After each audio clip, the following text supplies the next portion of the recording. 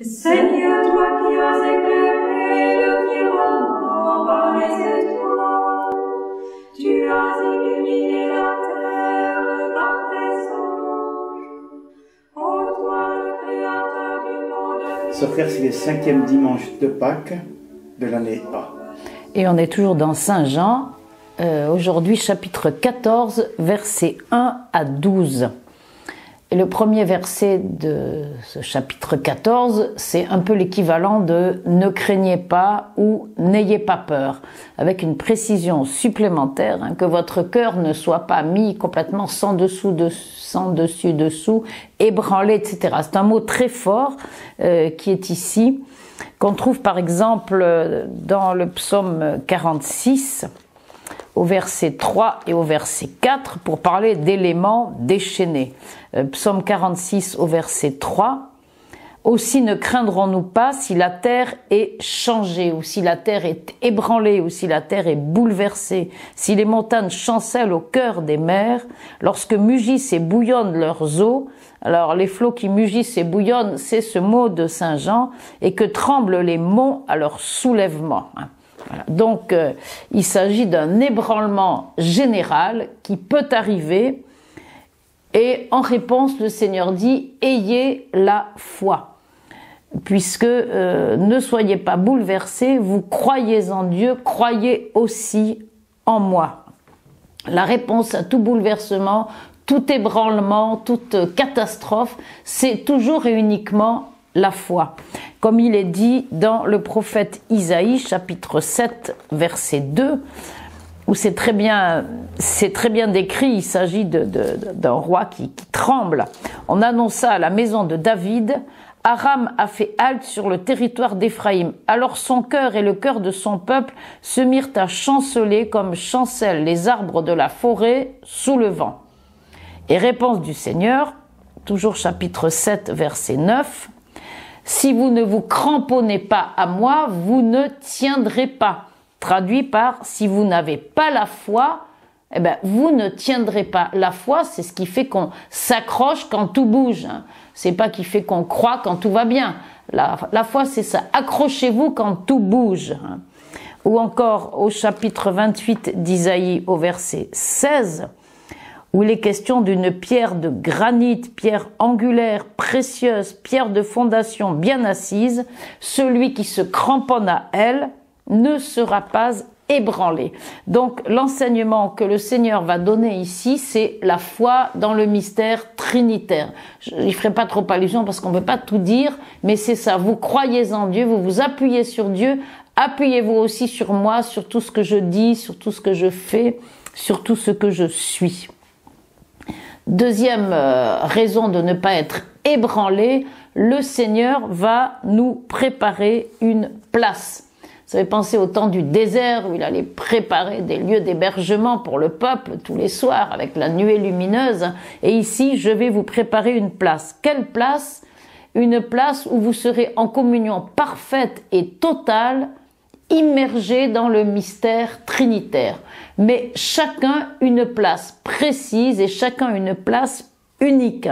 Euh, ça rappelle un peu ce qui est dit euh, déjà du, du, mystère de, de l'Église dans l'Épître aux Éphésiens, chapitre 3, versets 9 et 10, où Saint Paul parle du fait de mettre en pleine lumière la dispensation du mystère, ce mystère tenu caché depuis les siècles en Dieu, le Créateur de toutes choses, pour que les principautés et les puissances célestes aient maintenant connaissance par le moyen de l'Église de la sagesse, alors il est traduit par ici infini en ressources, une sagesse aux multiples facettes, on ne sait pas trop comment traduire, hein.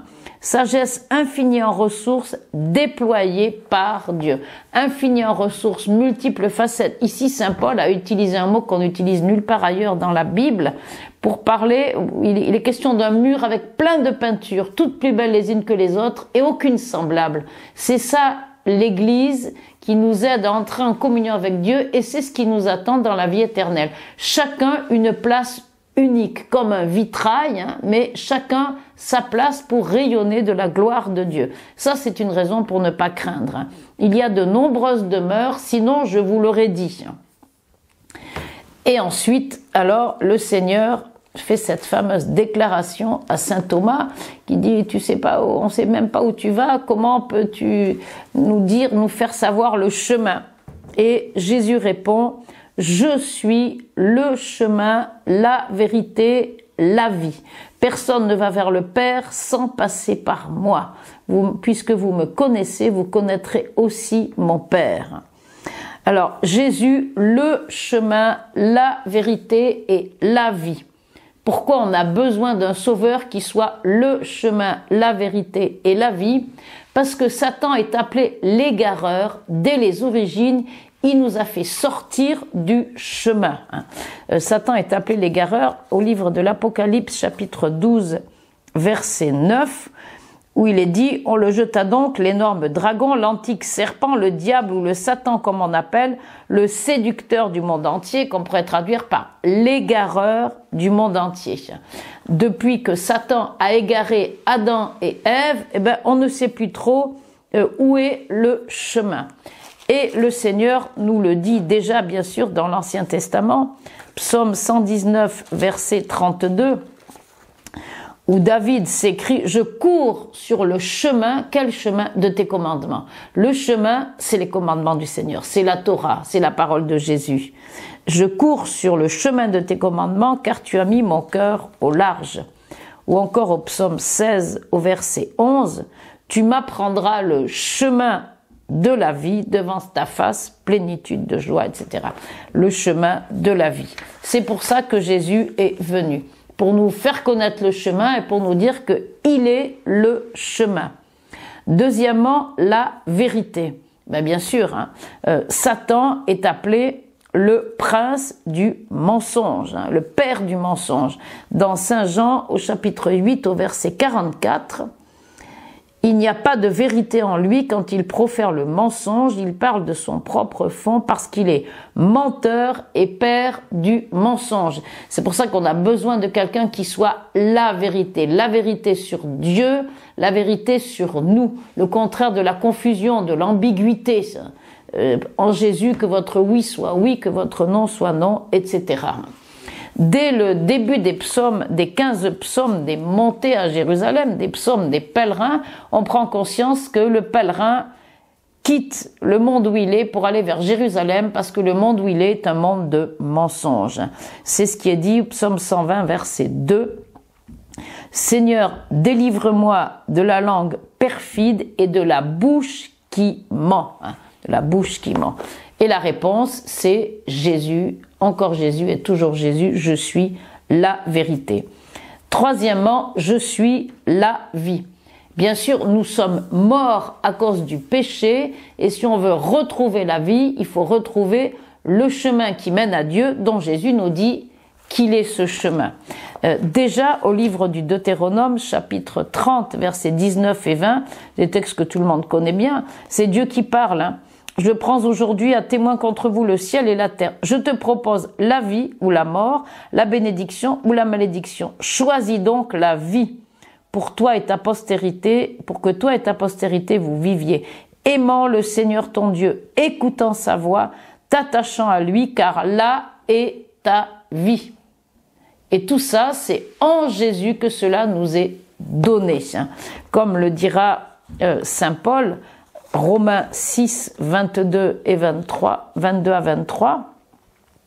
Aujourd'hui, libérés du péché et asservis à Dieu, vous fructifiez pour la sainteté. Et l'aboutissement, c'est la vie éternelle. Car le salaire du péché, c'est la mort, mais le don gratuit de Dieu, c'est la vie éternelle dans le Christ Jésus, notre Seigneur. Il est le chemin, la vérité et la vie. Pas un chemin parmi d'autres, l'unique chemin, l'unique vérité, l'unique qui puisse nous donner la vie éternelle. Et je, vais terminer avec, deux textes très beaux de deux pères de l'Église, euh, Saint Augustin et Saint Ambroise. Voilà ce que dit Saint Augustin pour commenter ce texte. L'homme désire principalement deux choses. D'abord la connaissance de la vérité, ce qui lui est propre. Ensuite la continuation de son existence, ce qui est commun à tous les êtres. Or le Christ est le chemin pour parvenir à la connaissance de la vérité et le Christ est le chemin pour parvenir à la vie. Si vous cherchez la vérité, suivez le chemin car le chemin est en même temps la vérité. C'est par Jésus-Christ que vous arrivez à Jésus-Christ. Par Jésus-Christ homme, vous parvenez à Jésus-Christ Dieu. Par le Verbe fait chair, vous parvenez au Verbe qui au commencement était Dieu en Dieu. Il est tout. Jésus est tout, sans lui nous ne sommes rien et nous ne pouvons pas avoir accès à Dieu, ni savoir où est la vérité, ni recevoir la vie éternelle. Et Saint Ambroise, nous te suivons Seigneur Jésus, mais pour cela appelle-nous, car sans toi personne ne monte vers toi. Tu es le chemin, la vérité, la vie, la possibilité, la foi, la récompense. Ô chemin, reçois-nous.